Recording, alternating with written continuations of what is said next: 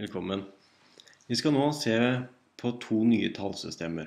Vi har allerede lært om titallssystemet, som har ti som grunntall i potensen som representerer hver plass.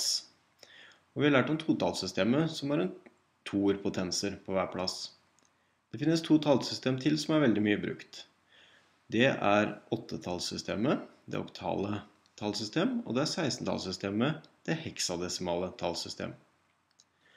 La oss begynne å se på det oktale tallsystemet. I titallssystemet så har vi tallene 0 til 9, altså 10 tall.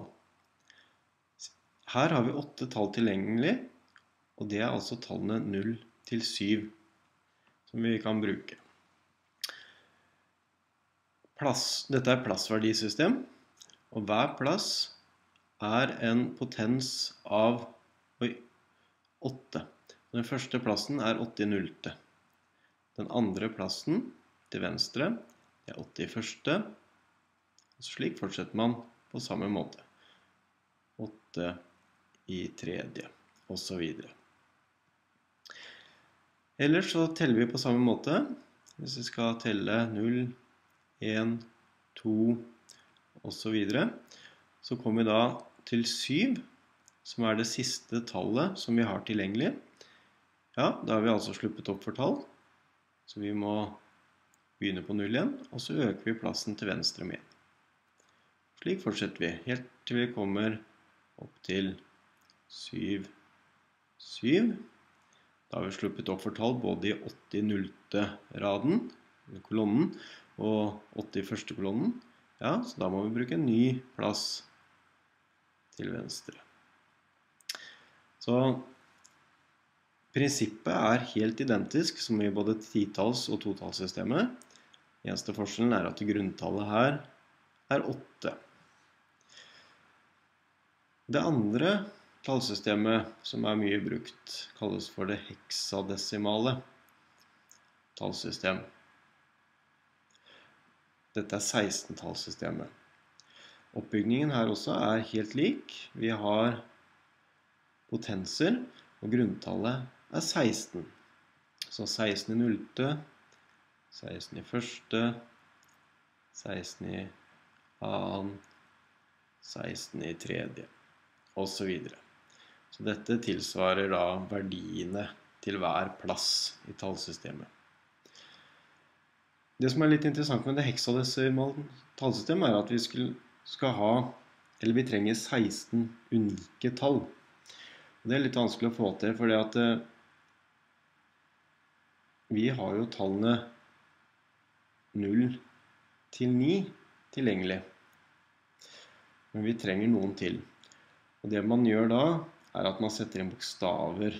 Og da bruker man de små bokstavene A til F. Så hvis vi da skal telle i det heksadesimale tallsystemet, så teller vi på vanlig måte opp 0, 1, 2 osv. Så, så kommer vi til 9.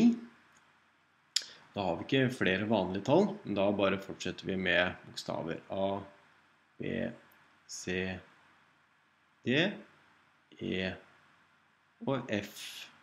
Og F er det siste tallet. F da er da 15 i titallssystemet.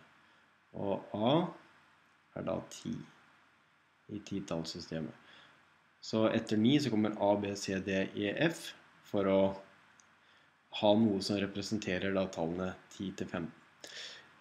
Når vi er ferdig med F, ja, da begynner vi på 0 igjen, akkurat som vi har sett før.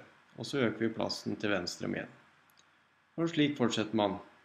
Kommer man opp til F, F, ja, så går man tilbake til null i både 16 i nullte og 16 i første kolonnen, og så øker man plassen til venstre.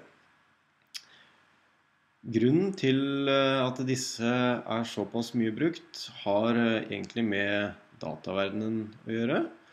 Fordi det binære tallsystem det henger nøye sammen med disse to. Og for hvert oktale tall vi har, så kan dette representeres med tre binære tall. Så tre siffer i totallssystemet gjør at vi kan skrive et eh, oktalt tall. Fordi 1, 1, 1, altså det binære tallet 1, 1, 1, det er 7. Det er verdien syv. Og 7 er nettopp det høyeste tallet i en posisjon i det oktale tallsystem. Tilsvarende så har vi at det, i det heksadesimale tallsystem så kan hvert tall representeres med fire binære siffer. Så hvis vi tar det binære tallet 1, 1, 1, 1 i totalsystemet, så er det det samme som 15, som er da det høyeste sifferet vi har på én plass i det heksadesimale tallsystemet. Prinsippet for alle plassverdisystemer er lik, og vi kan egentlig lage så mange tallsystem som vi har tall. Men de fire vi har hatt av nå, er da de vanligste.